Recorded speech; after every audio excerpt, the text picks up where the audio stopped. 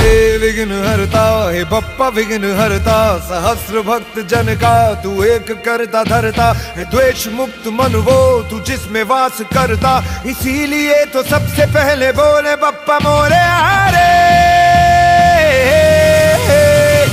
विघ्न हरता, है बप्पा विघ्न हरता लग तेरा है माथे पे जिसके भी निखरता, कर्म की कसौटी पे है, खरा उतरता, इसीलिए पहले बोले बप्पा।